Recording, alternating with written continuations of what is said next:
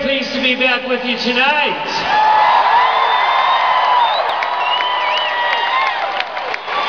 It has been over three years since we've all shared the stage together.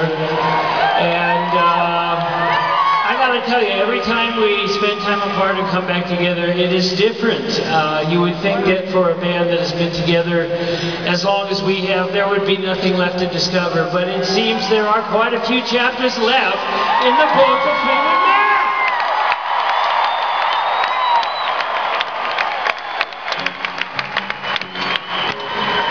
Now, one thing we thought would be great to do this time, uh, before hitting the road, was to go in the studio. And we did that.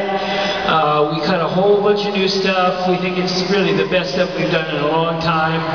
Not quite sure how it's all going to fit together yet, but for the time being, we have an EP out, and we're very excited to be doing a couple of new songs for you from that. And this is one of them. This is called Sad Angel.